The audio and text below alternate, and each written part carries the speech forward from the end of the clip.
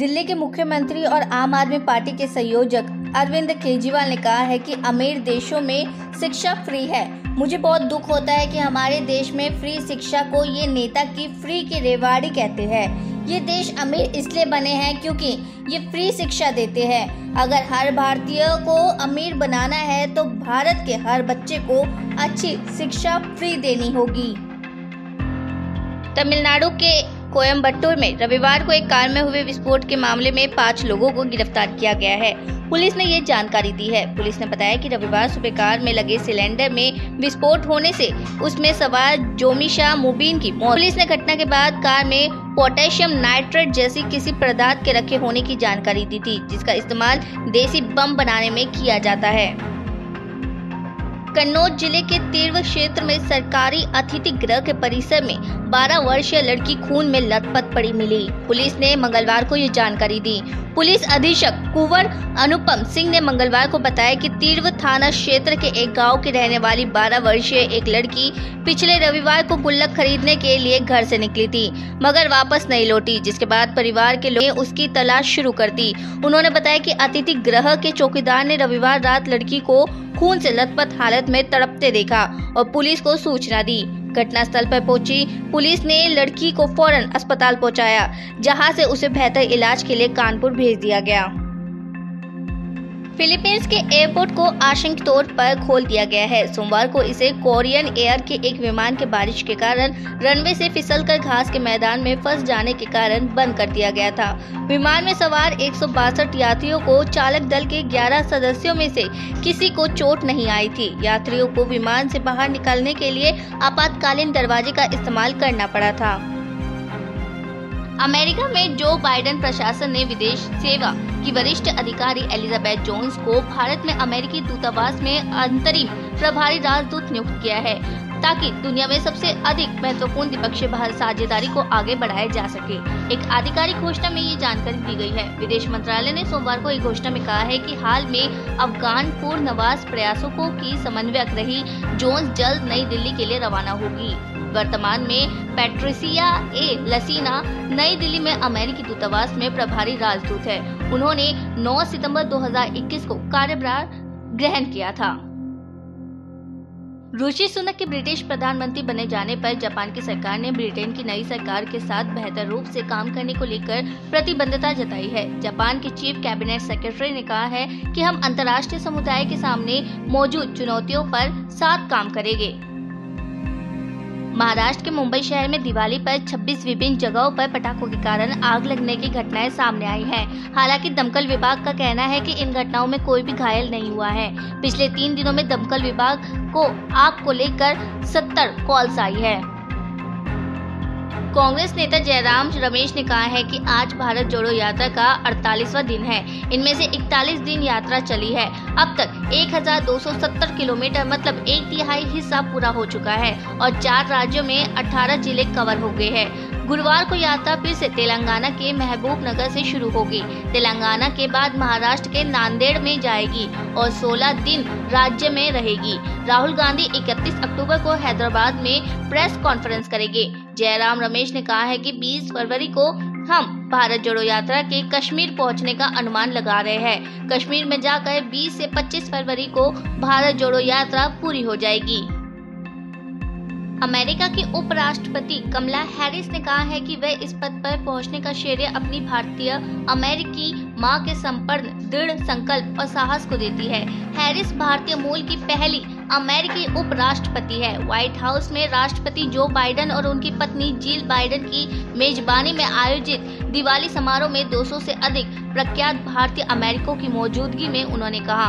उनके संपर्क दृढ़ संकल्प और साहस के कारण ही मैं अमेरिका की उपराष्ट्रपति के रूप में आपके सामने खड़ी हूँ। अरुणाचल प्रदेश के ईटानगर के नाहर लागू मार्केट में मंगलवार सुबह करीब 700 दुकानें जलकर खाक हो गई। आग की ये घटना कैसे हुई, इसका सही कारण पता नहीं चल पाया है। वहीं दुकानदारों ने आरोप लगाया कि जिस जगह आग की ये घटना हुई है, वहाँ से दमकल का ऑफ़िस महज 20 मीटर की दूरी पर है। इसके बावजूद दमकल विभाग एक भी दुकान नहीं बचा पाया। रूस और यूक्रेन के बीच जारी युद्ध को नौ महीने हो गए हैं। इसके बावजूद दोनों देशों में जंग रुकने का नाम नहीं ले रही है। इस बीच जर्मनी के राष्ट्रपति मिया यूक्रेन के दौरे पर कीव पहुँचे हैं। उनका दौरा ऐसे समय हो रहा है जब रूस परमाणु बम गिराने की धमकी दे चुका है। शीतरंग तूफ़ान के कारण भारत के पूर्व उत्तर राज्यों में आज जमकर बारिश होगी। मौसम विभाग की ओर से चेतावनी जारी की गई। अरुणाचल प्रदेश, असम, मेघालय, नागालैंड आज तेज बारिश दर्ज की गई। इसके साथ ही असम, मेघालय, मिजोरम और त्रिपुरा में तेज हवाएँ भी चली। इनकी रफ्तार 45 किलोमीटर प्रति घंटा तक होने का अनुमान लगाया गया। केंद्रीय स्वास्थ्य मंत्रालय के ओर से जारी रिपोर्ट में पिछले 24 घंटे में कोरोना के आठ सौ बासठ नए मामले सामने आए हैं। इस दौरान 1503 मरीज़ ठीक हुए। फ़िलहाल देश में एक्टिव केस की संख्या बाईस हो गई है। महाराष्ट्र में भारी बारिश से किसानों को राहत मिलती नज़र नहीं आ रही है। राज्य में हो रही बेमौसम बरसात से फ़सलों का बड़े पैमाने पर नुकसान हो रहा है। कई जिलों में पिछले कई दिनों से हो रही लगातार बारिश के कारण खेती तालाब में तब्दील हो गई है। सोयाबीन उत्पादकों के सामने ऐसी परिस्थिति उत्पन्न हो गई है, उन्हें कुछ भी समझ नहीं आ रहा है। एक तरफ़ से सोयाबीन के गिरते दाम तो वही दूसरी और बारिश में फ़सलों के खराब होने से किसान परेशानी में है। प्रमुख रक्षा अध्यक्ष जनरल अनिल चौहान ने सोमवार को जम्मू कश्मीर के राजौरी सेक्टर में अग्रिम चौकियों का दौरा किया और क्षेत्र में तैनात सैनिकों से कहा कि वे अभियानगत तैयारियों को बनाए रखें। जनरल चौहान ने जवानों के साथ दिवाली मनाई सेना ने एक बयान में कहा कि राजौरी सेक्टर के फ़ील्ड कमांडर ने सीडीएस को नियंत्रित रखा, पर सुरक्षा स्थिति से अवगत कराया। सीडीएस ने क्षेत्र में चुनौतीपूर्ण इलाके और मौसम की स्थिति के बावजूद रक्षा बुनियादी ढांचे के विकास और अभियानगत तैयारियों की भी समीक्षा की। बयान में कहा गया है कि सीडीएस ने सैनिकों को संबोधित करते हुए सेना के साहस और वीरता के समृद्ध परंपरा को आगे बढ़ाने का आह्वान किया। भारतीय मूल के ऋषि सुनक ब्रिटेन के नए प्रधानमंत्री बन इतिहास रचने जा रहे हैं। ठीक दिवाली के दिन पैनी मॉडरेट के दौर से हटने की घोषणा के बाद सुनक को कंजर्वेटिव पार्टी का निर्विरोध नेता चुन लिया गया। सुनक 210 वर्षों में ब्रिटेन के प्रधानमंत्री बनने वाले सबसे युवा नेता हो गए ब्रिटेन के पूर्व वित्त मंत्री सुनक एक धर्मनिष्ठ हिंदू है और वह लंदन स्थित 10 डाउनिंग स्ट्रीट में प्रवेश करने वाले हैं। वह 28 अक्टूबर को पीएम पद की शपथ लेंगे। म्यांमार की सेना द्वारा की गई हवाई हमलों में गायकों और संगीतकारों सहित 80 से अधिक लोग मारे गए, जो काचिन जातीय अल्पसंख्यक समूह के मुख्य राजनीतिक संगठन के एक वर्षगांठ समारोह में शामिल हुए थे। काचिन कला संघ के एक प्रवक्ता ने बताया कि रविवार रात हुए हवाई हमले में 80 लोगों की मौत हो गई, जबकि लगभग 100 से अन्य लोग घायल हो गए। उन्होंने बताया कि समारोह स्थल पर सैन्य विमान से चार बम गिराए गए थे। ये हमले ऐसे समय हुए जब तीन दिन बाद दक्षिण पूर्व एशियाई देशों के विदेश मंत्री म्यांमार में व्यापक हिंसा पर चर्चा करने के लिए इंडोनेशिया में एक विशेष बैठक करने वाले हैं। भारतीय रेलवे ने मंगलवार को चलने वाली कई गाड़ियों को रद्द कर दी। इनमें कुछ गाड़ियाँ पूरी तरह से कैंसिल है तो कुछ को आंशिक तौर पर रद्द कर दिया गया है।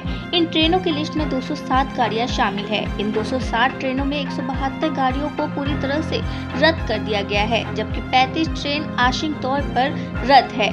ये सभी गाड़ियाँ देश के अलग अलग स्टेशन से चलने वाली है। इन शहरों में पुणे, नागपुर, पटना, पठानकोट और जोगिंदर नगर जैसे स्टेशन शामिल है। घरेलू शेयर बाजारों में सकारात्मक रूप के बीच रुपया मंगलवार को शुरुआती कारोबार में अमेरिकी डॉलर के मुकाबले 26 पैसे बढ़कर बयासी दशमलव छह दो पर पहुँच गया। अंतर बैंक विदेशी मुद्रा विनिमय बाज़ार में रुपया डॉलर के मुकाबले बयासी दशमलव इकहत्तर पर खुला और फिर बढ़त के साथ बयासी दशमलव छह दो के स्तर पर आ गया। इस तरह रुपया पिछले बंद भाव के मुकाबले 26 पैसे तेज था।